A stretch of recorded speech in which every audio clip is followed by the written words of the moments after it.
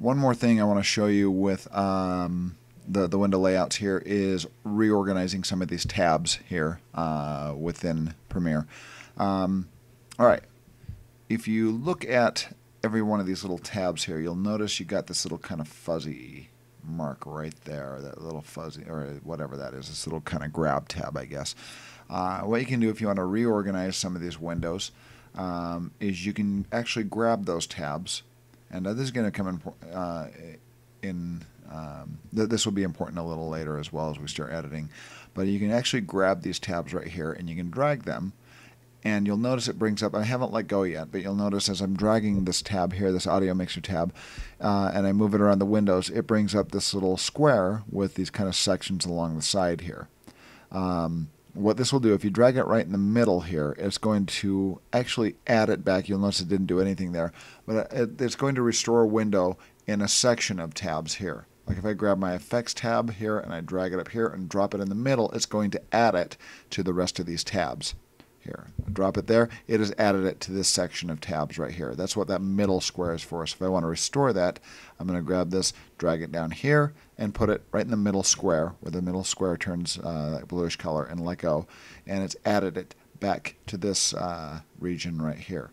Now, if you want to just simply change the arrangements or the hierarchy of tabs here, you just simply grab this tab. Uh, you don't grab the uh, the little grab tab here. You just grab the name, drag it over, and it will change where it exists on this little tab here. Now, if you're if you want to see other tabs, you'll notice you if you've added so many tabs, you'll notice that you'll have this little teeny bar right here. Grab this bar. You're gonna kind of got to aim, grab it, and it will move over and reveal other tabs. If you've got so many tabs here that you can't see them, see the tabs over to the side here, you simply grab this bar and drag it back and forth. Um, so once again, if you grab the name, you can drag kind of the, the change the hierarchy or, or, where it exists in this kind of tab layout. Uh, if you want to add this tab to a different window area, you can grab this by the little kind of rough edge here, drag it up till it turns to this blue square, drop it, and it adds it. Now, um, if I grab this tab and I drag it and take it up to one of these sections right here or here, what it's going to do is create a new window.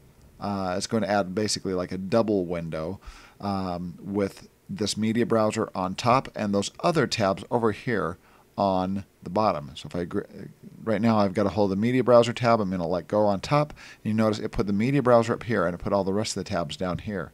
So if I want this arranged on the bottom, I'm going to drag that down and drop it here and it puts it on the bottom. If I drag it here over to the side, it'll put it onto the side and we have a side-by-side -side layout of those tabs. Drag it over to the left, let go, there you go. But if you want it to share the space, you just simply drag it to this middle square, let go, and it shared the space. It's kind of crammed everything over as it's adding more program space there. I'm just going to drag that over. So if I want the media browser back down, drag it down here, put it in the middle square, or if you put it on top, it'll put it layer it like we showed, or if you put it in the middle section, there you go. Then if you want to get everything back to normal, Go under workspace. Notice I'm selected on editing. If I tell it to reset that current workspace editing, it'll reset it to its original layout. There you go.